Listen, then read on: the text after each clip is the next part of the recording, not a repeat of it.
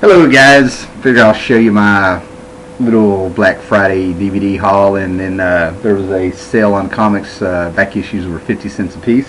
Figure this might be a quick video by my standards. Uh, decided to, uh, usually on Black Fridays, I'm one of those guys, I'll hit stores in three or four towns around here and stuff because, you know, I'm really just looking for the DVDs and little odds and ends. Don't go for the big stuff, I can get in and out. And uh, this year I ended up getting there and you know, they're having what they're calling Brown Thursday now, but uh, I was in town where there's a Walmart to begin with. I was eating, uh, th- having Thanksgiving with uh, a couple of friends at a Cracker Barrel restaurant, and uh, you know, swung on over to Walmart and got there about an hour and a half before the uh, Black Friday actually started. And man, they were like Walmart Nazis there, man. They had uh, they had the uh, boxes uh, that were cut like into shelves with full of DVDs, and they're all spread out around the groceries and the dairy and the produce and stuff. And uh, man, if you touched a DVD that was you know hanging out that cellophane they had wrapped around it, man, they were like right on you. Don't touch that. You cannot touch that till six. They were right there.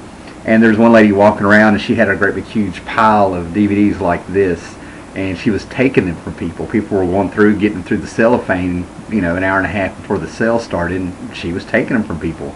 It was hilarious. So we ended up sitting there talking, and ended up having like a little crowd of people start getting there, and I'm pretty sure one guy that was beside me was high, and uh, me and my buddy were, the other guy had a halitosis so bad that he like breathed on me twice, and I actually tasted it, and my mouth got all foamy from like getting ready to throw up, and then when I was talking to people, there was actually a little spittle coming out of my mouth, and I was like, I am so sorry, you know. So after going through all that, I ended up getting some good DVDs. Ended up telling the whole sock monkey story, story of my phobia for sock monkeys and stuff. I think it actually kept people entertained. We had some good tit for tat, and overall, everybody had a pretty good attitude and stuff. So, and I'm rambling.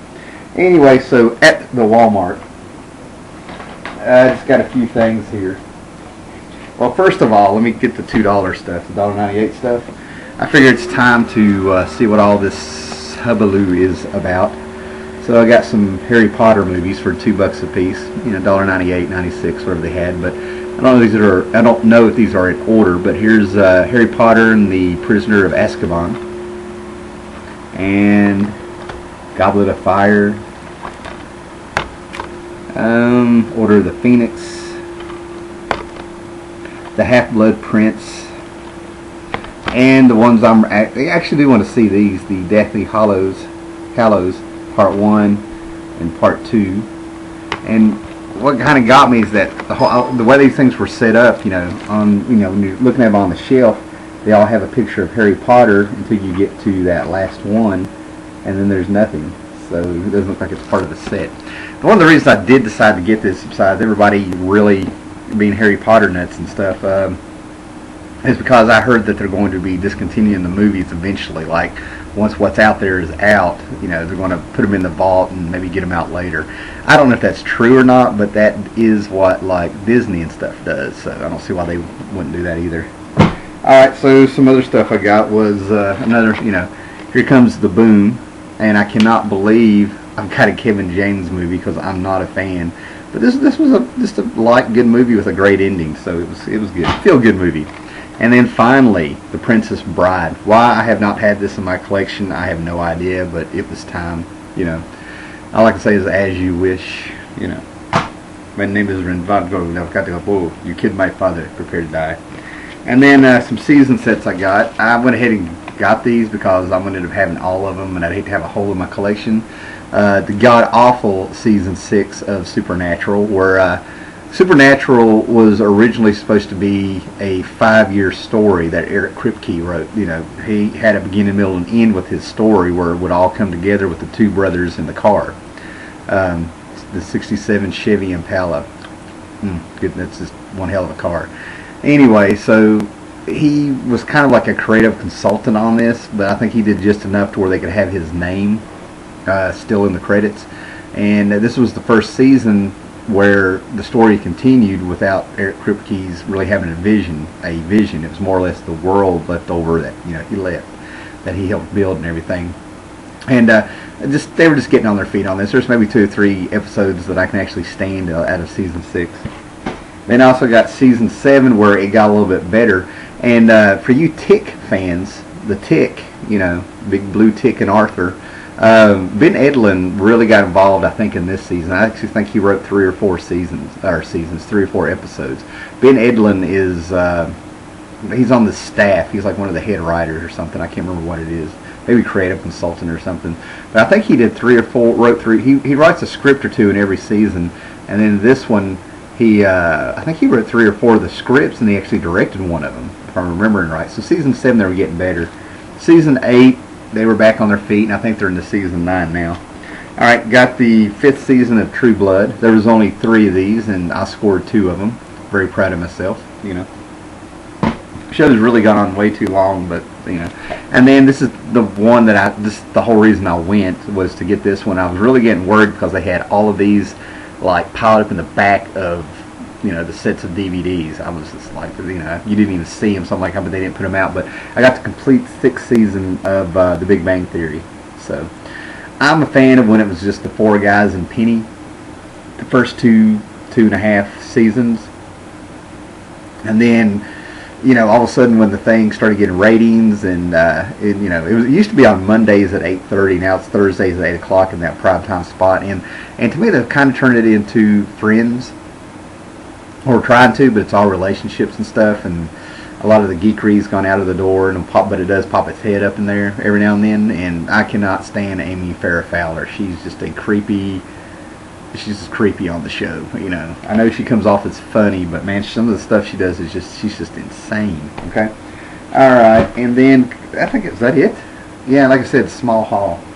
All right, so uh, the comic book shop here in town had comic books back issues for 50 cents and on a whim I just popped up in there. I really just needed to get groceries but I stopped by there and ended up getting 20 or 21 books. I might have miscounted on the guy. So these came to like $10 alright and I'm always you know on the YouTube comic book community Facebook page you know somebody was really upset that when they bring Daredevil back uh, they're ending the uh, Mark Waid Daredevil, I think at issue 36, but it's coming back, but it's coming back as like a 3.99 book, I think. You know, comics are getting really expensive. And, you know, these videos I've been making for years is my way of kind of showing that you don't have to pay full price. There's really no reason to pay full price for any book. And I've kind of gone against the grain a little bit. I got back on an online online subscription service where I get 15% off new books so you know that sounds like it'd be you know great. Get a brand new book, bag and board, fifteen percent off cover price. And I've ended up finding everything I've subscribed to in dollar boxes and 50 cent boxes. It's just not worth it for me. You know, I'm still getting the books two, three months after they're in. You know, get you know it's the same thing for me, but I actually I'm cheaper doing it my way. But anyway, I uh, just picked up some random issues of uh, Batman Incorporated. Here's number seven. Uh, Grant Morrison's on this, and this is the Batman Incorporated. It started after um, the DC 52 got going. A uh, bunch of little mad kids with all the Batman masks on, you know, poles and stuff. All right, can't wait to read that.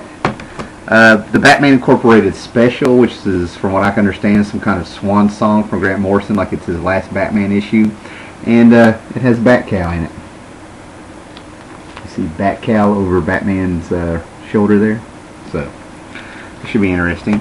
Got me another copy of this, Justice League number 24, first appearance of Crime Syndicate in the uh, DC 52 universe. I'm a huge Crime Syndicate fan since 1982.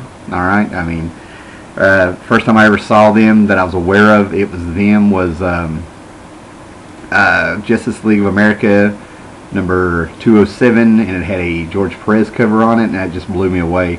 And then I started digging through some of my stepdad or uncle's old Ju my uncle's Justice League, and I found some reprints of the first appearance from the Silver Age there. I uh, went ahead and picked up this. They had a quite a few issues of Geoff Johns' DC 52 run of Green Lantern.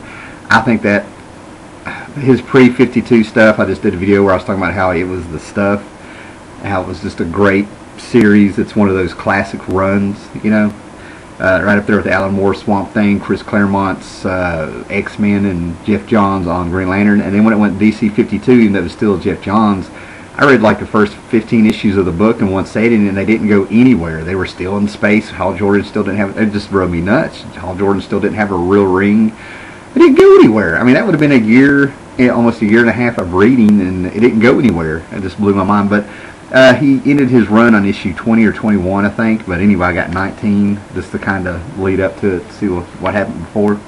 I got some Hellboy books. Uh, here's the Storm Part 3. I have quite a few of these, but I was trying not to buy doubles, okay? And then we got Hellboy in Hell number 4. Had a lot of BPRD too, but yet again, I don't know what I'd bought off the guy. I didn't, that was the last thing on my mind. I, I stopped there on a whim. Uh, Hellboy in Hell number 3. Hellboy in Hell number 2. Great Mignola work. Uh, like I said, here is the Star Wars. This is where they take George Perez's original script for Star Wars before it got honed and stuff into the first trilogy, you know, New Hope and uh, Empire Strikes Back and Return of the Jedi. This is number two. Got that for 50 cents. And here's what I'm talking about. I've been excited for this. I wasn't going to read them and stuff, and I, I still haven't had it come to me through my online service, but I got Sandman Overture for 50 cents. Now, I got it for 15% off cover price, which was $5, $4.99, and I get it for 50 cents just by having some patience and waiting a month, you know. That's what I'm saying. I went against everything that I do. Uh, these were 50 cents a piece. Batman. I got. I had Batman Superman number one, but I got Batman Superman number two, number three, big Darkseid there, and number four, which I don't have bagged. And I think they're just now on number five. I got some more Justice League America. Number six, Trinity War. This is part two of six of the big Trinity War. Pandora on the cover there. Alright, uh, Justice League America number 8, Forever Evil tie-in, 50 cents. Uh, Justice League number 21, Black Adam, Shazam on the cover. How could I not get that? I'll, I'll probably end up going back and getting those. And got number 18 with a big cyborg cover there. That looks like an Ivan Reis cover. Jesus Says. Yeah, it's an Ivan Reis cover. Uh, 3.99 book I got for 50 cents. So, and then I got for 50 cents I got some 3D covers. I got Bane. Uh, this would have been Batman 23.4. Uh, Graham Nolan actually came back and did this Bane story, and I have two of those. They were 50 cents a piece. And then I got uh, Batman Superman 3.1 with Doomsday. It's the 3D covers, and got two of those. So you go, 10 bucks for, good God, who knows. Should have done the math before this, man. But most of these books are $3.99. One's $4.99. So 16 $21. The rest are like about 3 5 You know, I can go on and on. But I got them, I'll do the math later. But um, anyway, that's it. Hope everybody had a great Thanksgiving. Hope everybody who made it out on Brown Thursday and carried on over into Black Friday. Hope you had a great hauls and got some good stuff. And um, that's it. Catch you later.